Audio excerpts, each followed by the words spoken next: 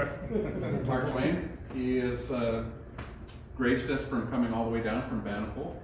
He's a lifelong amateur astronomer like me. We have a lot in common as I've read about his uh, biography. Um, in fact, I, I listened to his talk a few years ago at, at, up at SLAS and a lot of a lot of things in common that we have shared interests and so forth. Um, and I'm sure you'll get to know him very well by the time he's concluded with his talk, so I won't I won't bother you with any more details about his life. But we're really grateful to have Mark here tonight, so I'll turn the time over to him. Thank you, Richard.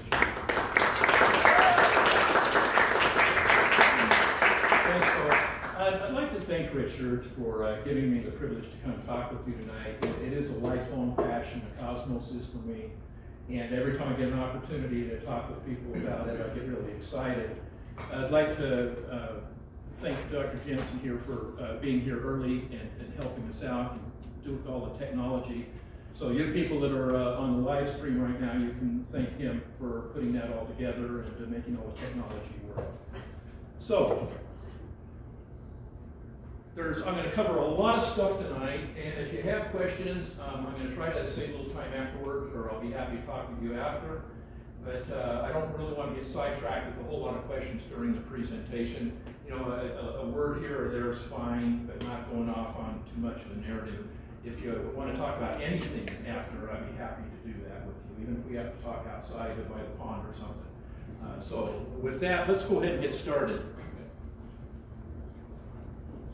see, is the first slide up there? There we go. I'd like to start my presentation tonight by sharing a quote uh, from one of my favorite artists with you.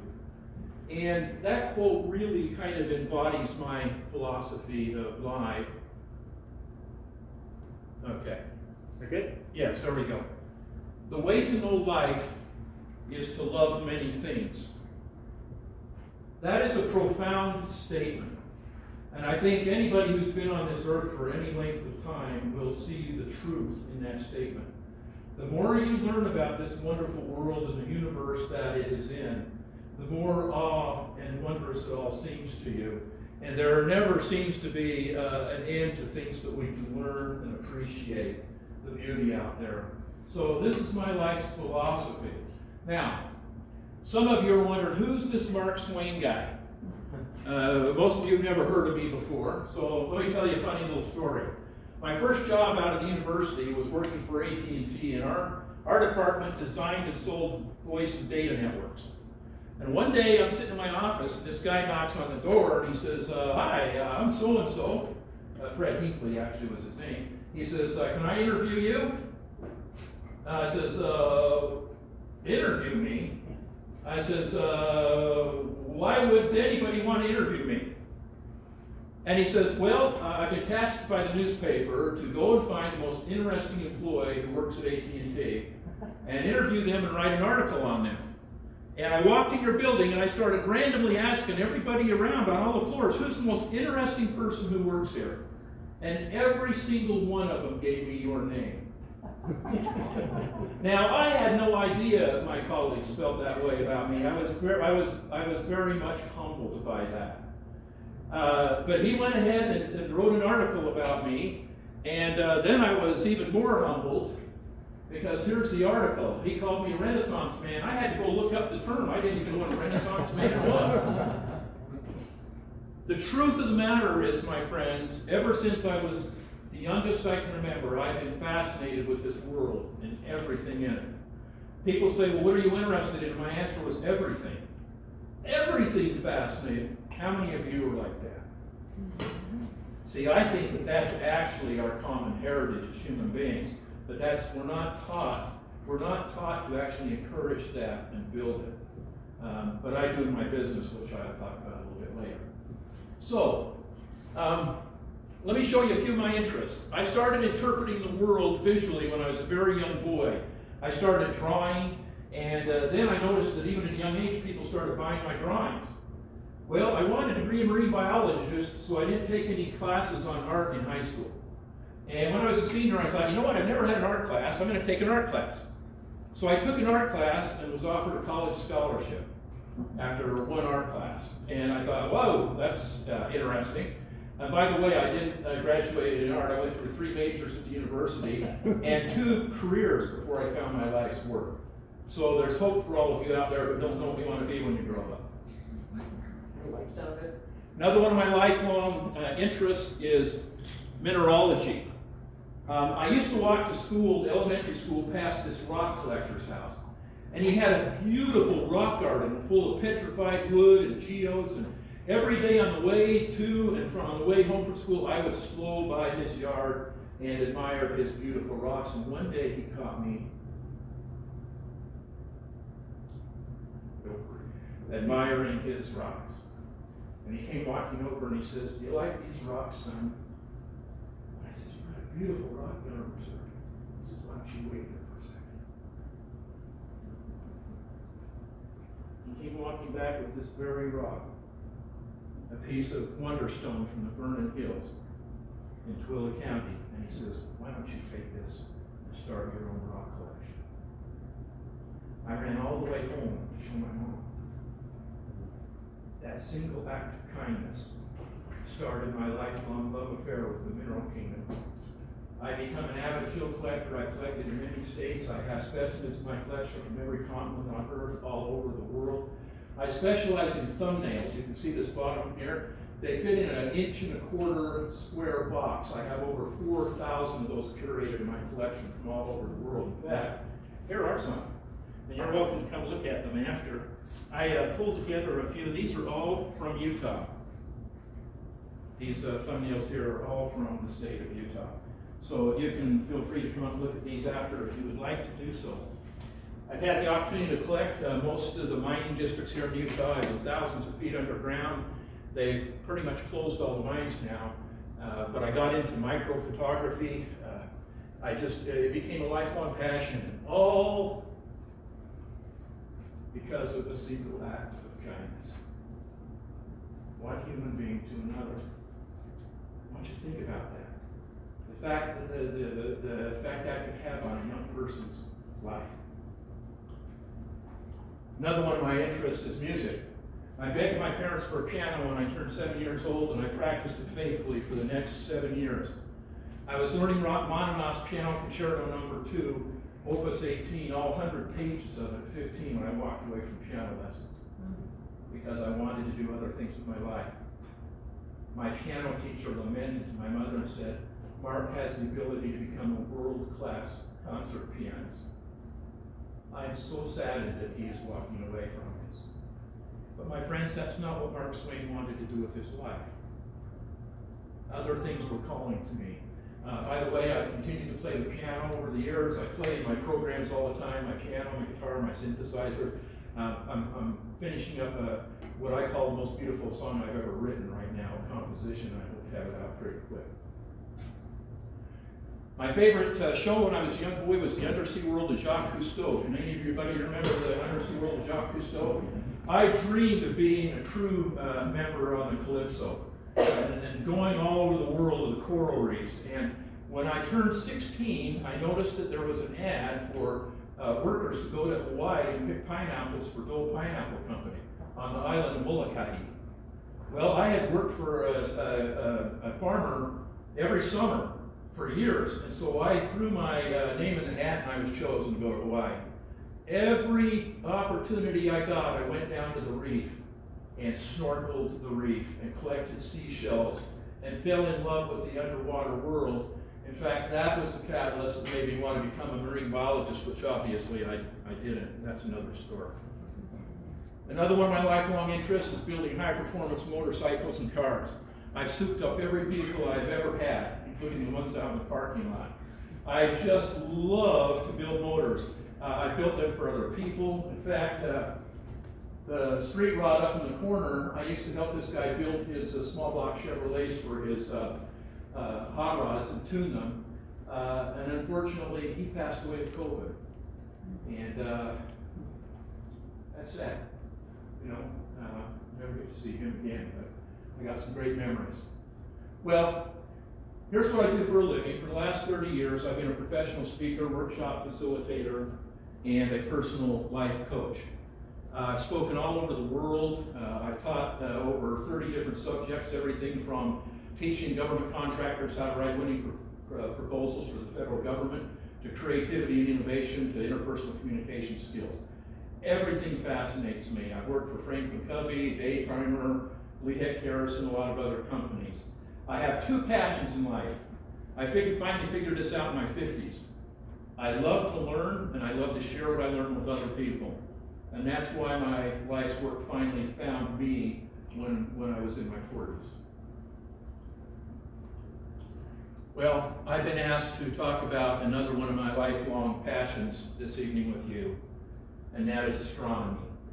And how did this all start for Mark Swain? Well, there were two things that happened. The first was a very special birthday gift from my parents when I turned 12. This little department store Tasco reflector. The first time I focused it on the moon, I was blown away. I could actually see the craters and the maria and the mountains. And I explored every square inch of that moon. I couldn't believe that from my backyard I could look at another. Well, uh, I used this little scope a lot, but I did have one disappointment that I have to admit. Um, the stuff I was looking at in the sky never quite looked like the pictures on the box.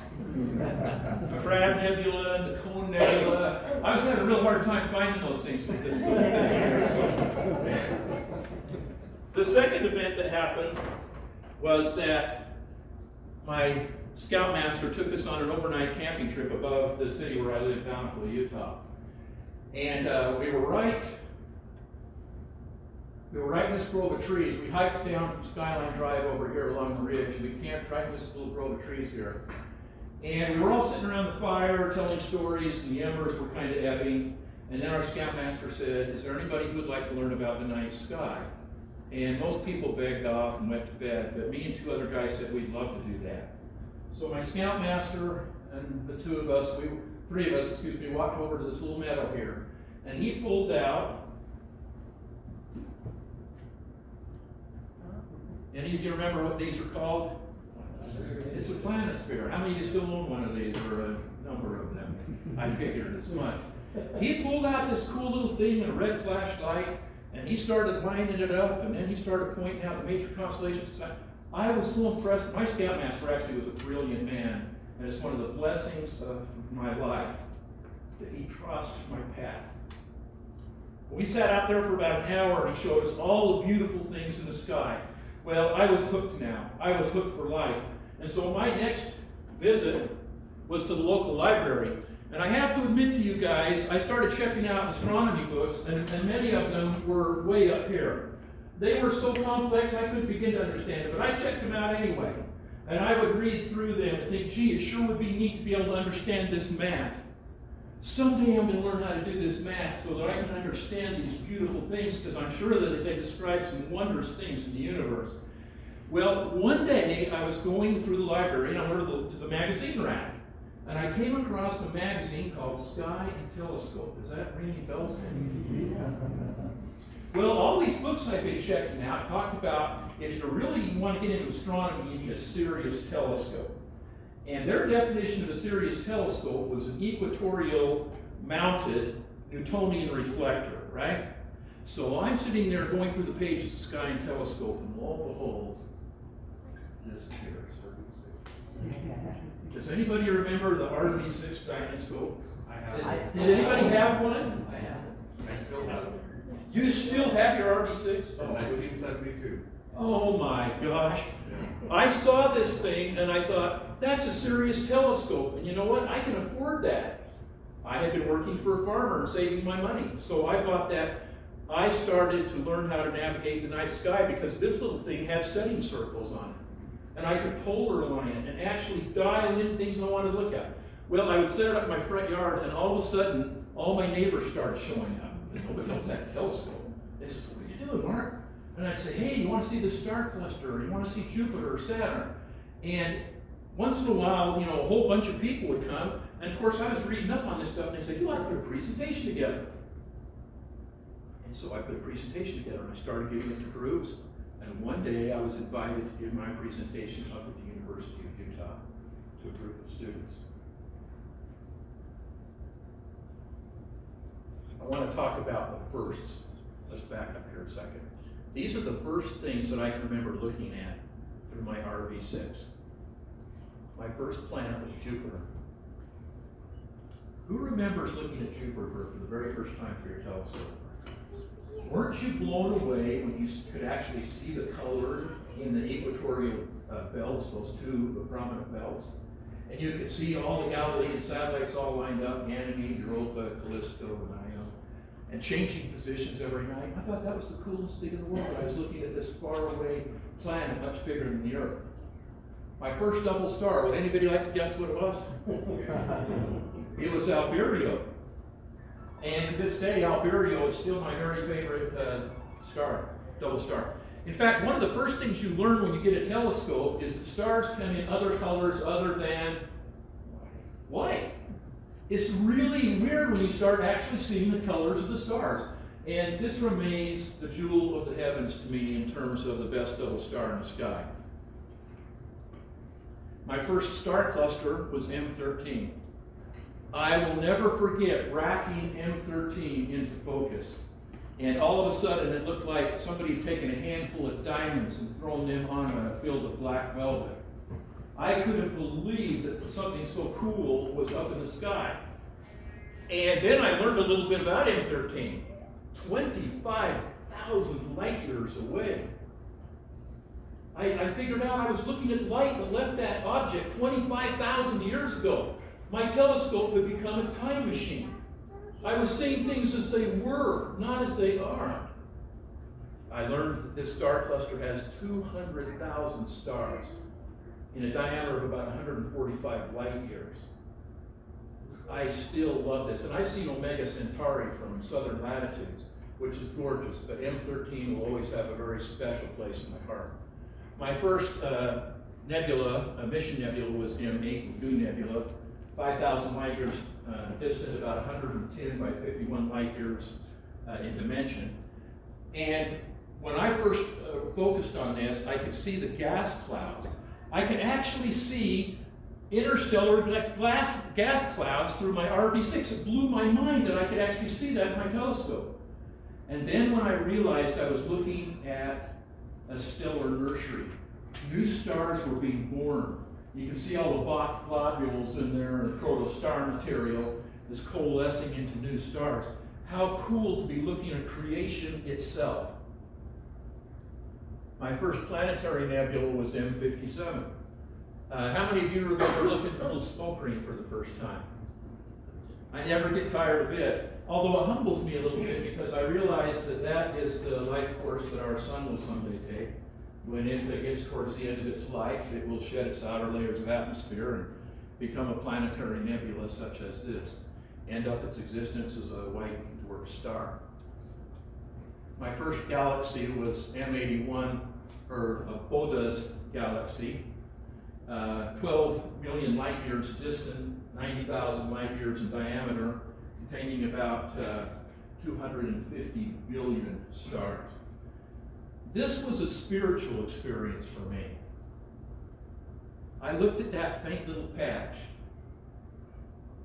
12 million light years away. And I thought, I wonder if there's somebody living on a planet orbiting one of those stars that's in his or her backyard right now with a telescope, looking at my faraway galaxy, the Milky Way. It was a very, very special experience for me when I saw that. One day I went to an open house up at the University of Utah. Uh, the North Physics Building uh, has an observatory on top. And there was this really nice gentleman named Lowell Lyons. He was operating the 16-inch telescope that night. And when I started asking him questions, he could see that I was interested in price. He says, no, Mark. He says, you ought to come join the Salt Lake Astronomical Society. And then you can hang out with people like you that enjoy the stars, and I thought that that was the coolest idea ever. So I joined, and we met at the old Hansen Planetarium there on, on State Street, and I made all kinds of new friends at the Salt Lake Astronomical Society. One of the things that happened when I joined the Astronomical Society is that our club got a discounted rate on both Astronomy and Sky and Telescope magazine. You guys have a thing like that with the Utah Valley Astronomy Club, where you can get a discounted rate for your club? So I subscribed to both of them. And one day I saw this ad here. Now I had known Meade as the company that made high quality equatorial mounted uh, Newtonian reflectors. And I had never seen that they were making Schmidt Cassegrains. In fact, while this happened, I was actually in conversation with Patrick Wiggins. Any of you know Patrick? Uh, the Old Planetarium. He was trying to get me to buy a Celestron C8. Nothing against Celestron. I've owned a number of them at, one of my observatory. But when I compared the construction of the field tripod here on the Meade 2080 with the flimsy one on the C8 uh, and the more modern design here, I thought, you know what, I'm going to take a chance. And so I went with the Meade. And I've never, I've never been disappointed in that. That was a very, very good telescope. Now, I want to tell you about a very special star party. Let's go back up to the University of Utah. I was invited to go up there and speak. And I had a big group of people like this, and I was given a slideshow. And afterwards, I was going to set my telescope up. Well, there was this one student in the audience, and she kept asking me all these really cool questions about astronomy. And I was impressed. And when I went out and set my telescope after, everybody kind of peeled off after a while, and I noticed it was just her and I, and she was still asking me questions. And I thought, well, she really likes astronomy, but I, I think she actually likes me too. and I was kind of uh, enamored with her, so I got a phone number, and uh, there's my wife right there. That's uh, who I am married. So it's very interesting how we meet. It's always fun to listen to people's stories how they meet. Anyway, she's been my stargazing partner ever since, and we've had some incredible adventures. Here's the actual flyer from that star party that night. Sometimes you don't think they're going to be very special, but when you look back decades later, they can be become very, very special and have a lot of sentimental value to you. Uh, the Salt Lake Astronomical Society, we did a lot of really cool star parties. And one of the things we did back in that time is we used to partner with other astronomical uh, clubs. And this is a star party that we held conjointly at Dinosaur National Park with the Denver Astronomical Society.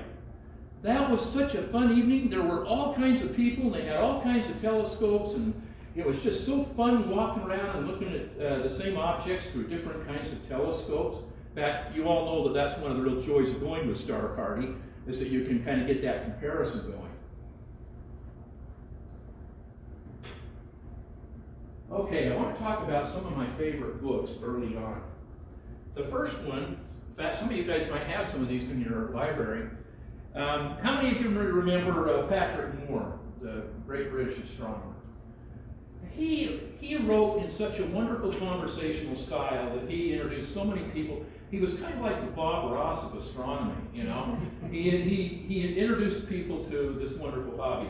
This little book, The A uh, to Z of Astronomy, just had all kinds of interesting facts about the universe in it, and I read it over and over and over again. Another one of my early favorites was all about telescopes. Now, I'm in my 60s now, and I'm going to tell you something that I believe strongly. If all math books were written like this, visually, we would have a whole lot more mathematicians in this world. I could understand everything that Mr. Brown was saying in here because he laid it out so clearly, uh, visually. And so I fell in love with this little book. Uh, it still remain, uh, remains one of the, my very favorite books that I ever purchased on astronomy. Um, my, my Encyclopedia of Astronomy. How many of you have a set of Burnham's Celestial Handbooks? This is actually my traveling copy. I have a, a I have a copy of uh, the hardbacks too at home, but these were the original ones I bought. Robert Burnham worked at uh, uh, Lowell Observatory in Arizona, and he literally takes constellation by constellation, talks history, mythology, uh, stars, uh, you know, quasars, galaxies, the whole nine yards. And this was just such an incredible read. Some people curl up with novels. and others of us curl up with Burnham's Celestial Handbook, right? In fact, Professor Jensen was showing me his copy. He says, I, want, I wonder if mine are older than yours, and his are older than mine. I bought them used. You didn't have to tell him. Let him be impressed. Oh, this, this little book here was a real treasure. The Messier album. This astronomer in Prescott, Arizona had a 12 and a half inch cave Newtonian reflector equatorially mounted. And he built his own uh, guiding head and cold camera. Now, I want you to get an appreciation for this. This little metal holder here uh, is for dry ice. And he would cut single frames of Tri-X-Pan black and white film and stick them in there and take photographs of the Messier objects. Now, these don't look real impressive by modern standards, but back then, I looked through this book and I thought, oh my gosh, how beautiful. Someday I would like to take pictures of the Messier objects as well. This again remains one of those touchstones that guided me on my journey of astronomy. Norton Star Atlas. How many of you have Norton Star Atlas? This was my first Star Atlas, and what I really loved about this is that each constellation uh, was laid out like this on a two-page spread. I took my little red pen and I actually drew in all the constellations. And uh, each constellation had a list of stars and then it had a list of deep space objects. This was at my telescope uh, out in the field for years and years and years. And then I got a copy. Wow, this is a serious star atlas here. It's a collector's item now. What's that? It's a collector's item now. It's a collector's item now. Uh, Atlas of the Heavens, uh, Atlas Coeli by uh, Antonín Bečvář. And uh, you have a copy as well, Richard. We were talking about this uh, before. Now everybody can have uh, an atlas on their telephone, which is pretty cool. And the pages are always wavy. That's true. I met a guy in the Salt Lake Astronomical Society who I found out lived in Bountiful where I live. And one night at the meeting we were talking, he says, Mark, my dad and I built an observatory in my backyard. Would you like to come see it? And I thought, an observatory in your own backyard? How cool's that?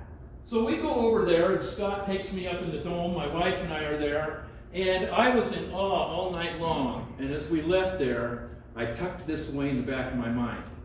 Someday I'm going to have an observatory in my backyard too.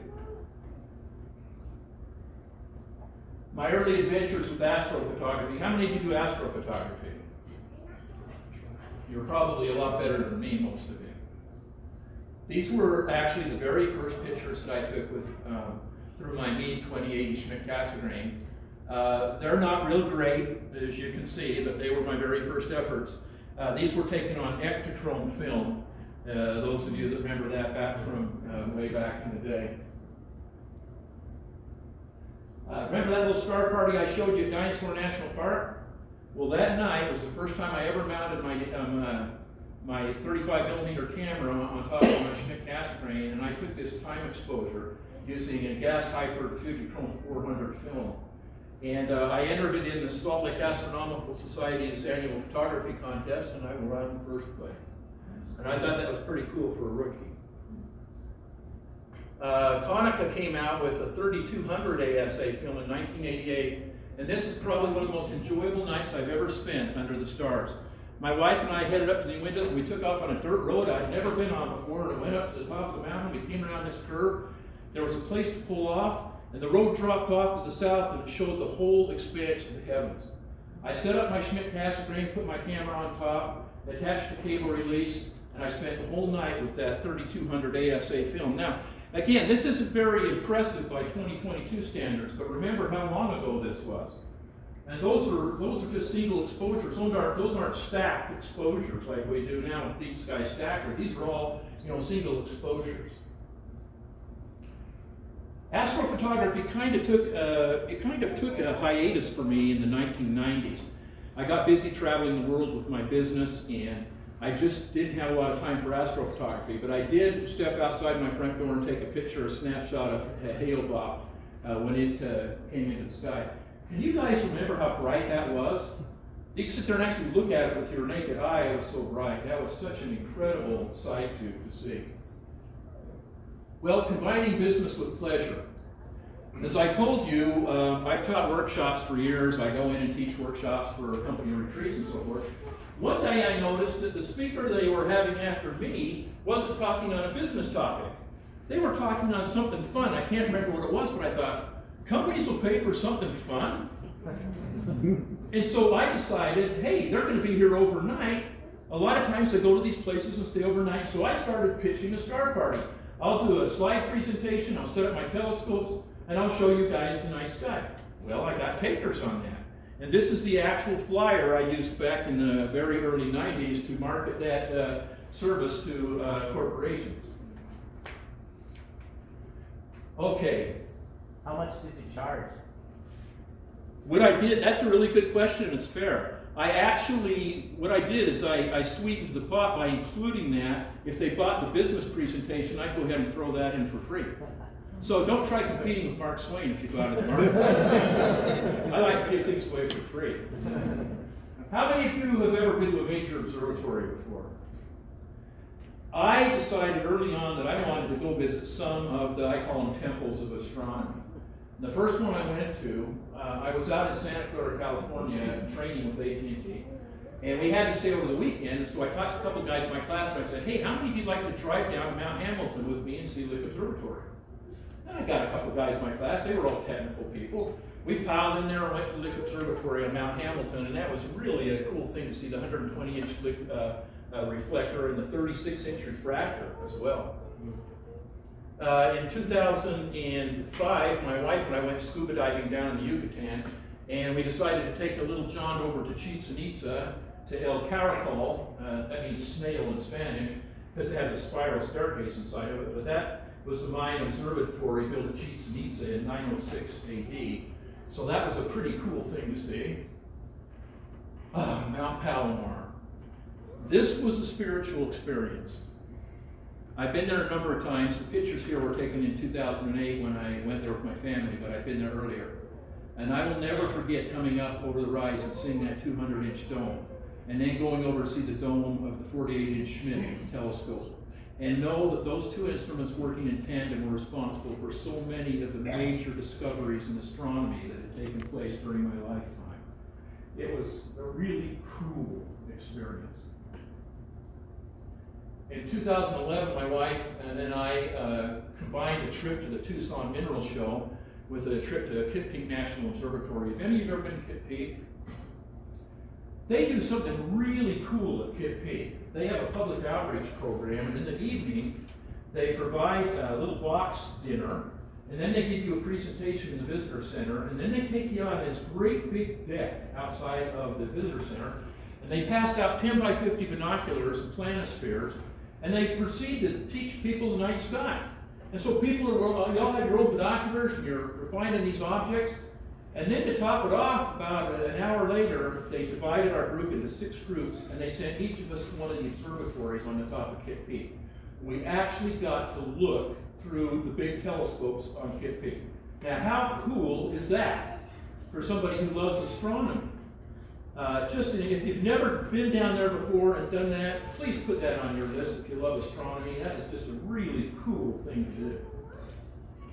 Where is it at? It's uh, south uh, southwest of Tucson. It says it's temporarily closed. Fire there. They just had a big fire. Okay. They just had a big fire there. In fact, uh, the guy and my friend in Tucson was telling me, I says, "Oh, it did do get the observatory." He says, "Got very close to the observatory." So, oh my heavens, like that's a world treasure. Well, in 1986, my wife and I went to uh, Hawaii to see Halley's Comet, and it was a very big disappointment. When we were on the Big Island, we had planned to go to the top of Mauna Kea, and we got rained out, so we didn't get to go. So in 2016, when we went back to the Big Island, I says, I'm going to the top of Mauna Kea. How many of you been to the top of Mauna Kea? Okay, so you'll know what happens when you get to Mauna Kea. You get up to 9,200 feet, and there's this visitor center, and they say, please take a half hour to acclimate to this, to this elevation here, okay? And so I'm kicking around, waiting my half hour, and I run into this site. This is how they store their telescopes for their nightly star parties. I almost had cardiac arrest when I saw that. Now, I don't know how fastidious you are with your optics, but that, that caused major problems in my head when I saw those nice telescopes being stored like that. Well, anyway, after half hour, my wife and I pile in our Jeep and we head up this steep road, and it is steep. Uh, but the vistas are breathtaking. At about 10,500 feet, we look back and we can see the visitor center down there. And then over here, you can see Mauna Loa, the great uh, shield volcano on the southern uh, uh, part of the island of Hawaii, peak, uh, peeking up above the cloud deck. Well, we noticed that as we got closer to the observatories at the top, they had paved the road. And why did they do that? No dust. To keep the dust down on those huge, uh, expensive instruments, okay? So up around the bend, and boy, it's getting really steep now, and then I see this. I was just almost overwhelmed. Some of the most uh, wonderful instruments on planet Earth right there in front of me. Uh, Caltech, uh, let's see, the James Clerk Maxwell Telescope, Caltech Telescope, the big uh, square uh, dome of the Subaru Telescope, and then the twin domes of the Keck Telescope. And uh, then when I got to the top, I was so fortunate that it was clear that day. And I was able to get these panoramic pictures. Uh, at the top is the uh, NASA Infrared Telescope, the Canada France Hawaii Telescope, the Gemini North Telescope, University of Hawaii. See that little tiny dome on the end? That was the original observatory they built up there to test if that was a good location. It had an 18 inch reflector in it. And they still have that little dome up there. How cool is that, right? Well, unfortunately, when I hopped out of the car to take pictures, I wondered where my wife was, and she was kind of doubled over, and uh, she had a, a, horrible case of altitude sickness. And uh, I was actually kind of terrified because she was not in good shape at all. So I snapped these pictures, and then I hopped in the car and I hightailed it as fast as I could down that road to get her down out of that altitude. Uh, because it, it, it, can be very dangerous, uh, you know, altitude sickness. It's the only place I know where you can go from sea level to 14,000 feet in about 35 miles. That's correct. And that's, that's one heck of a, an elevation change. I mean, how many of you, have any of you ever, like, uh, what's, the, what's the highest peak in uh, Utah? Does anybody ever climb Kings Peak? I did. And it was it was a grueling process, uh, you know, climbing that last, and it's not even 14,000 feet high. This is over 14,000 feet high, and we started that day, as Professor Jensen said, at sea level. So you better, you know, be nice to your body because everybody's body doesn't acclimate the same way. Well, I mentioned that years before this, I had planted a dream that someday I'd have my own observatory. And so in 2005, I decided to make that dream come true, and I designed and started building Pleasant Valley Observatory. First flight, August 2006. Uh, where's my young people in here? Don't ever think, don't ever think a dream is too big for you. Looking back on my life, I can tell you that dreams come true if you believe. But you to believe. So if there's anything in your life you really want, go for it. It is within your reach if you really believe it. I have been a guest instructor at the University of Utah uh, College of Health and I had just finished delivering a class for the Osher Lifelong Learning Institute. I did a class on uh, Sir David Brewster, the inventor of the kaleidoscope. And I called the class uh, Kaleidoscopes, the Science and the Art. And I described uh, all that science behind a kaleidoscope, and then for our final project, I helped each of the participants build their own kaleidoscope to take home.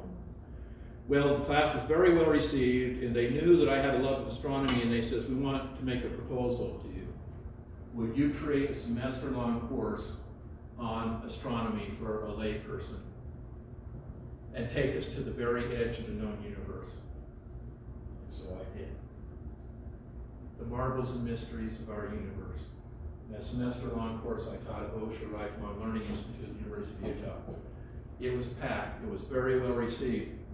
And for our final class, I hosted a star party at Red Butte Gardens in Arboretum. And I showed the participants some of the many objects that we had talked about uh, during our semester long class. They invited me to come back and teach again, but I was traveling and my business just didn't permit uh, me to do that again. But it was a very fun experience teaching at the university.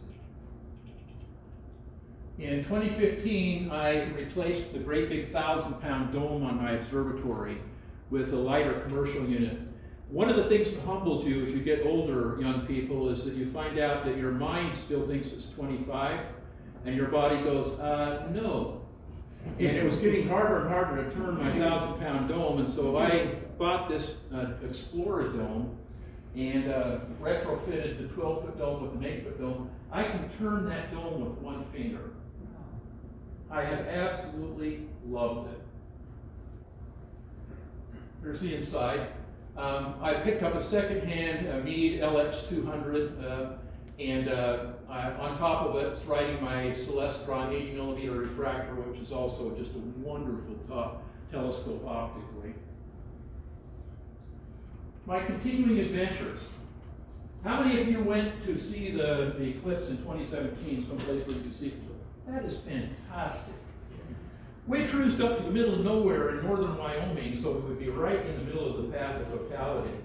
And I pulled off the road, there was not a soul there, and all of a sudden cars started saw my tent and they started pulling off the road. But by the end of the day, we had an international party going on. I had the Germans next to me, I had the Australians on the other side of the day. It was we literally had a party. It was absolutely wonderful.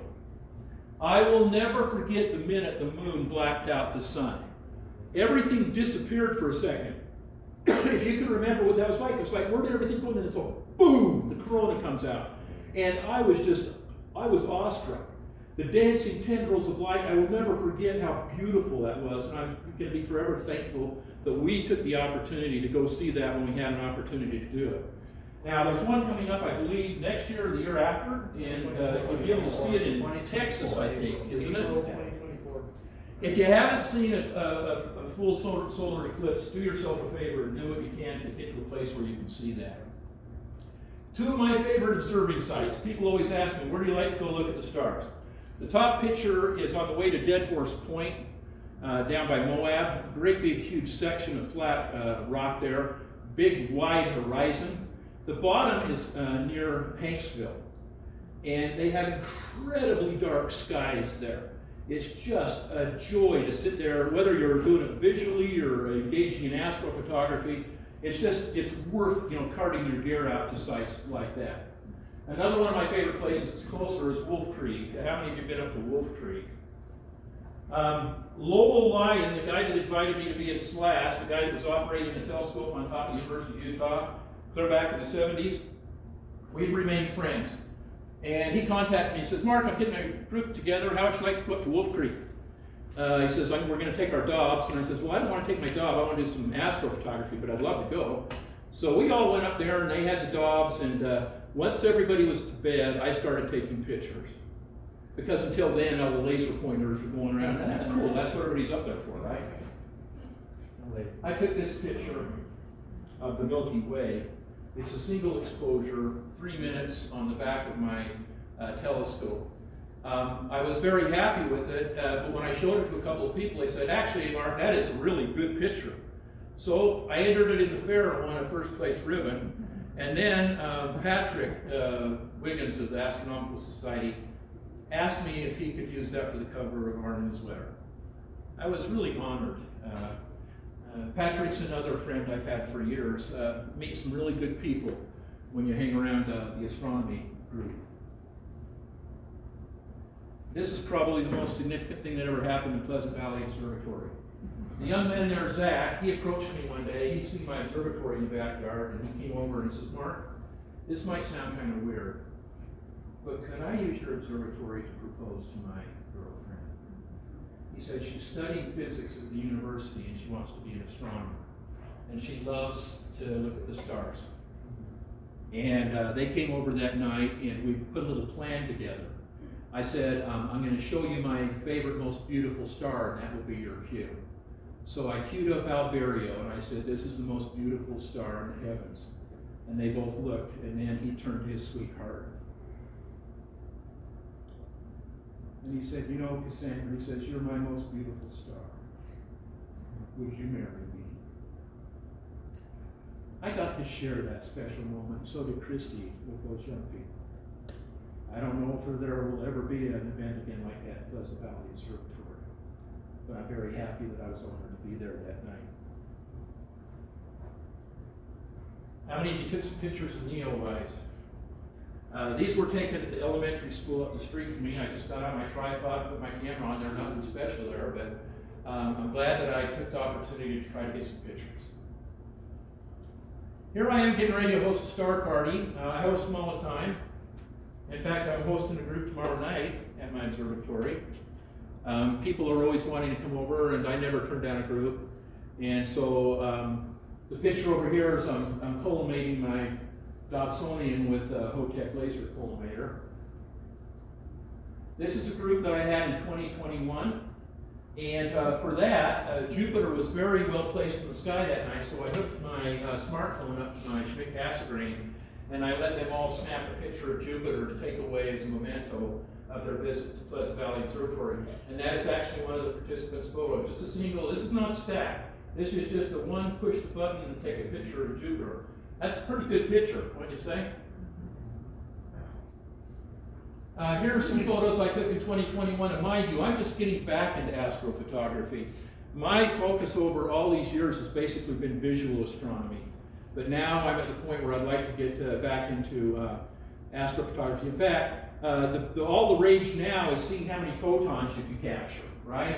You know, hours and hours and hours. I'm going the other way. I'm experimenting with how short of exposures can I use and actually get a decent image of some of those things in the sky. So I did these uh, just a little while back. These are all of my 80 millimeter refractors, my Celestron. Uh, so you got the double cluster. These are all 30 second exposures. Uh, M16, Eagle Nebula. Uh, M81 and M82, the galaxies there. Uh, M27, the Dumbbell Nebula. M57, M31, the Andromeda Galaxy. Albireo. M13 and then M11, uh, the wild duck cluster. People ask me all the time, Mark, do you ever get afraid being out in the dark all by yourself all the time? And I stay up all night, all the time, literally all night. When I go in my observatory and close that door and open the shutter on my dome, I feel it's almost like an altered state of consciousness. It's just me and my dear friend, Cosmos. And after the city finally goes to sleep in the early morning hours, I basically luxuriate in the quiet darkness. It's just me and my friend. I love these words by Sarah Williams. In fact, Rachel, mm-hmm. Rachel made this for me to hang in my observatory. I have loved the stars too fondly to be fearful of the night. Beautiful. Have you ever seen anything strange in the sky when you were stargazing? yeah, actually we have. I've seen a lot of things. Probably one of the most remarkable is one night we were up in the Uintas at Soapstone and I was doing a star party. And I had just uh, shown everybody Saturn and I was getting ready to turn the telescope to M13. And everybody was off and they said, hey, what's that? What's that? And I wasn't paying any attention because I was moving my telescope. Finally, one of them said, Mark, what, what, what's that? And I looked up and then somebody says, Well, what's that one there? Well, there's another one over there. Well, it turns out there are five objects in the sky and they are converging on a common point. They look like satellites. They're going at the exact same velocity and they're going towards a common point. So obviously what we do is we all just shut up when we're watching this because we wonder what's going to happen when they hit that point. They all got there at the, what were there, five? I think there were five objects. They all got there at the exact time and poof, they're gone. Now, everybody stood there just in silence for about five seconds, and then one of the people spoke and says, uh, Mark, what was that? I said, that's why there's a term unidentified. Congratulations. You know, I just see something you can't explain, right? I don't know what it was, but it sure was bizarro. Now, you guys already know I like to collect things. Here are some more of my collections.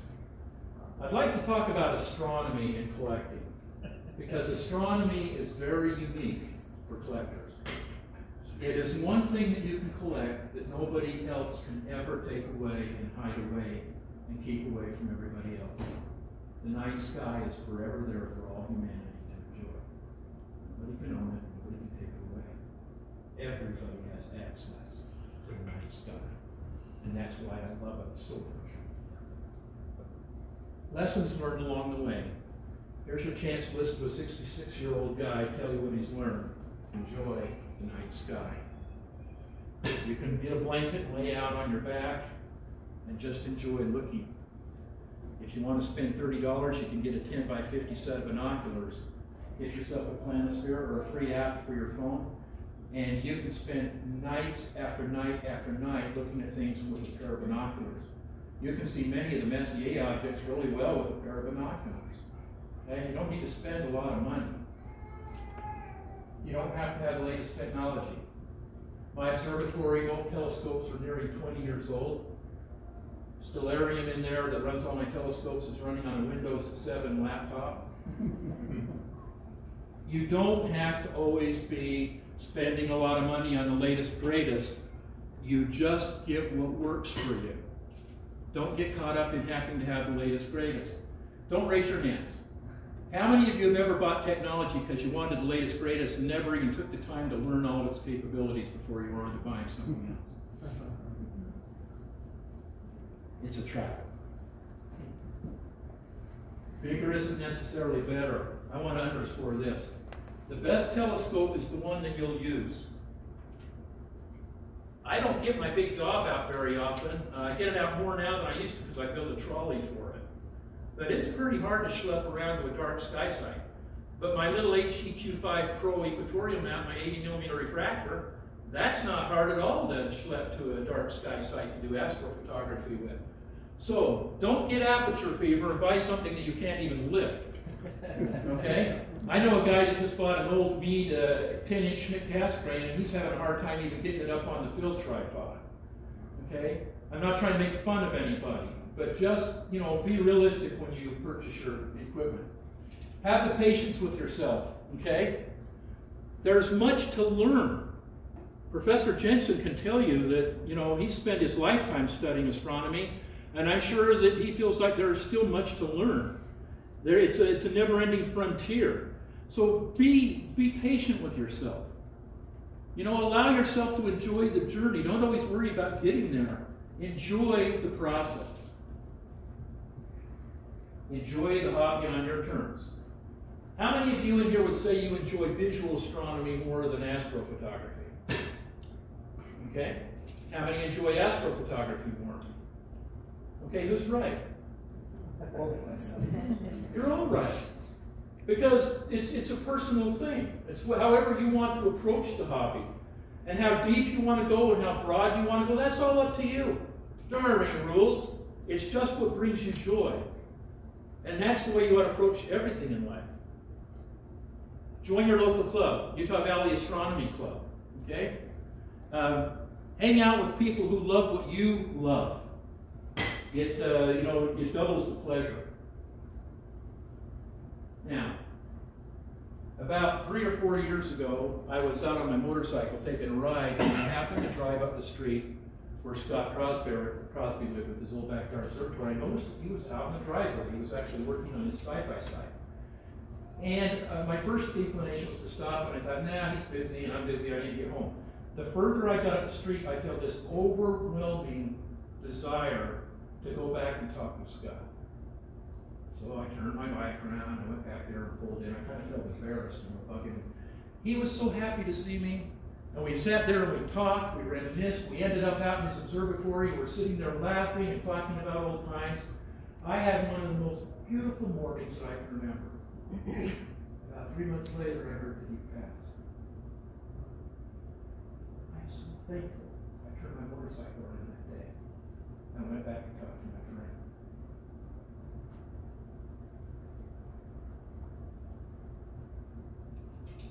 In AD 79, August 24th, the citizens of the Roman resort town Pompeii just sat down to their midday meal.